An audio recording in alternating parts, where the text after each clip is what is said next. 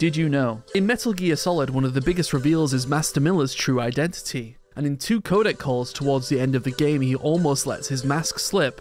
The first one is here during the second fight with Vulcan Raven. Anthropologically, they are related to the Japanese.